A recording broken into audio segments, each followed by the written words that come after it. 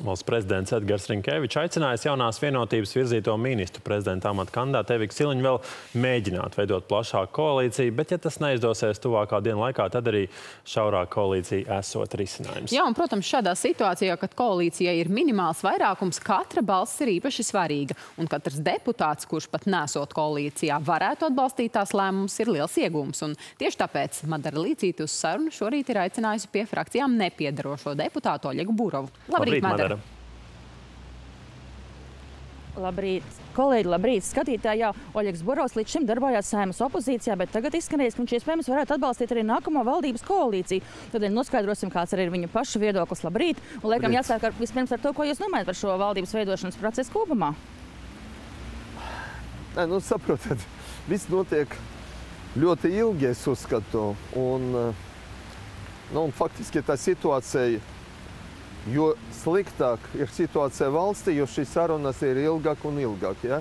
Es domāju, ka šobrīd, un tas ir mans viedoklis, kā, kā, kā pilsonim, ka pēc iespējas ātrāk vajadzētu valdību izveidot.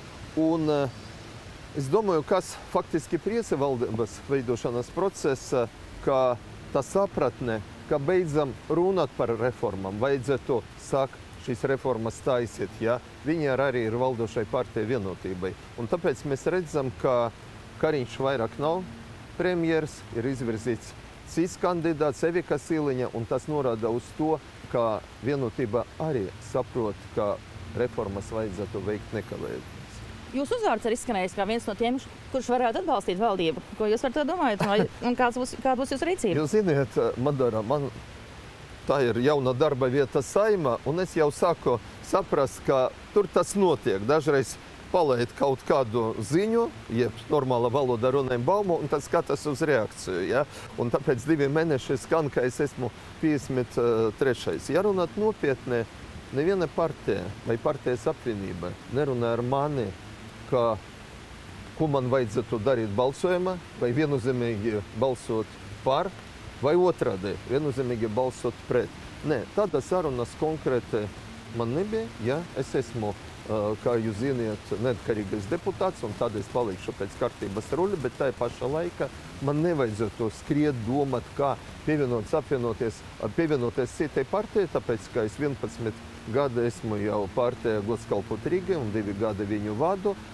Jā, es varu pateikt, mēs runājam ar uh, citiem partijas priekšsēdētājiem uh, par uh, sadarbību 25. gada Rīgas vēlēšanas. Un tas ir absolūti likumsakarīgi, tāpēc, ka es esmu Rīgas partijas vadītājs. Tas nozīmē, ka jūs esat jau izvēlējies varbūt kādu partiju, kurai varētu pievienoties ne tikai jūs, bet arī jūsu vadītājs gods kalpot Rīgai? Nu, nepievienoties, bet uh, sadarboties kopā. Jā, sadarboties tieši tā. Nu, un droši vien būtu absolūti loģiski, ja mēs pieņemsim lēmumu nu, teiksim, ar partiju X sadarboties 25. gada, diez vai būs pareizi šobrīd saima tie atlikušie gadi līdz 25. gadam sadarboties ar partiju Z, Y un tar, ta, tas pats. Ja? Droši vien diez vai tas ir pareizi. Ja? Bet ko es gribu pateikt par savu lēmumu? Ja mums ir partija gods kalpot Rīgai valdes lēmums, ka valde pieņem lēmumu, kā balsot par valdību man kā saimnes deputātam, ja es saņemšu no savas, val, no savas valdes nu, tiksim, balsošanas pilnvarojumu. Skaidrs, ka nākamajā koalīcijā būs arī vairākas izmaiņas. Varētu kāda partija no līdzinājās koalīcijas partijām varbūt nebūtu, kāda varbūt nāktu jauna klāt.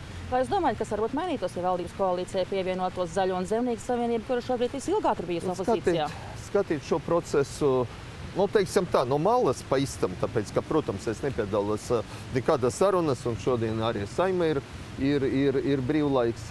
Es domāju, ka reāli izdarot vairāk apli, mēs šobrīd nonāksim uz to, ka valdību sāk veidot patiešām divas partijas, tas ir progresīvi un zemnieki.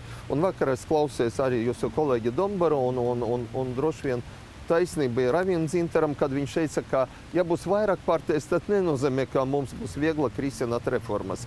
Iepriekšējā valdība ar vairākām partijām no ļoti liberāliem līdz ļoti konservatīviem to norāda. Mēs faktiski nestāvējam uz vietas, bet ejam atpakaļ. Jūs arī tā partija gods kalpot Rīgai vairākus gadus Rīgas domē. Bija opozīcija, tagad jūs esat pievienojušies koalīcijai. Kā vērtējat, kāds varētu būt darbs Rīgā? Nu, jūs zināt, es arī nesen izteicu, ka varbūt uh, visam partijām, kas ir ilgi pie varas, vajadzētu kaut kādu laiku varbūt pabūt opozīcijā un cilvēkiem pabūt varbūt opozīcijā, nevis tiem kresliem, lai izvērtēt tiešām, kas notiek, izvērtēt savas kļūdas, paskatīties no malas. Uh, jā, mēs bijām izveidoti un darbojamies Rīgā kā varas partija ar visam no tā izdarījušiem sēkam, ar labām lietām un par tām lietām, par ko es tiešām pats personīgi varu tikai lepoties. Un, es, protams, mums ir līdzatbildība par, citam, par citiem darbiem.